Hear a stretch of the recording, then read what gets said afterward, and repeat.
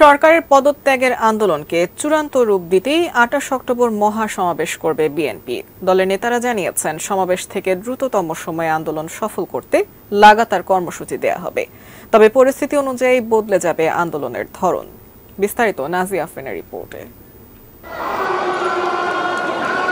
সরকারের পদত্যাগ ও নির্দলীয় তত্ত্বাবধায়ক সরকারের অধীনে নির্বাচনের দাবিতে গত বারো জুলাই থেকে এক দফার আন্দোলন শুরু করে বিএনপি ও শরিক দলগুলো। আন্দোলনের ধারাবাহিকতায় সর্বশেষ গত আঠারো অক্টোবর ঢাকায় জনসমাবেশ করে বিএনপি। ওই সমাবেশ থেকেই আঠাশ অক্টোবর রাজধানীতে মহাসমাবেশের ডাক দেওয়া হয়। আঠাইশ অক্টোবর, শনিবার,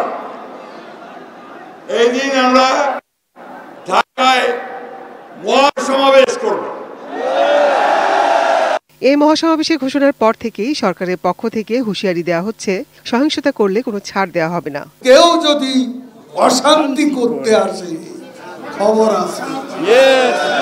খবর আছে। খবর একদিন বলি না এখন বলছি খবর আছে। তবে কোনো ধরনের সহিংসতার আশঙ্কার কথা উড়িয়ে দিয়ে শান্তিপূর্ণ কর্মসূচির কথাই বলছেন বিএনপি নেতারা। একই সঙ্গে তাদের আশাবাদ, অন্যান্য সময়ের তুলনায় রেকর্ড সংখ্যক লোকের জনসমাগম হবে। রাস্তায় নেমে এসেছে।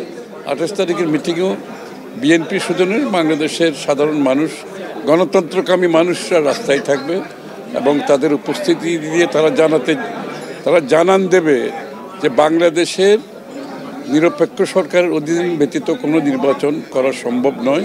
এই বার্তা আমরা দেশবাসীকে দিয়েছি, সরকারকে দিয়েছি, বিশ্ববাসীকে দিয়েছি যে আমরা গণতন্ত্রে বিশ্বাস করি, আমরা গণতান্ত্রিক আন্দোলনে বিশ্বাস করি, আমরা নিয়মতান্ত্রিক আন্দোলনে বিশ্বাস করি। সরকারের উস্কানিতে কোনো লাভ হবে না। আমরা সরকারের ওই ফাঁদে আমরা পা দিতে যাচ্ছি না।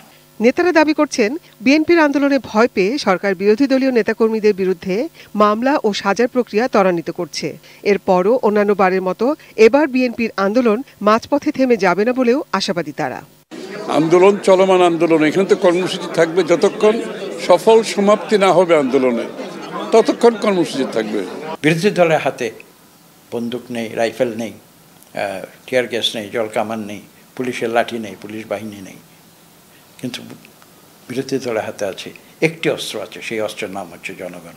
আঠাশ অক্টোবর মহাসমাবেশ থেকে লাগাতার কর্মসূচির ঘোষণা দেবে বিএনপি। আন্দোলনের সফল সমাপ্তির জন্য যে কর্মসূচির প্রয়োজনীয়তা দেখা দেবে সে সে কর্মসূচি দেওয়া হবে। তারা সংবিধানকে একানব্বই সালে লঙ্ঘন করে নির্বাচনে যায়নি? তারা কি দু হাজার আট সালে সংবিধান লঙ্ঘন করে নির্বাচনে যায়নি?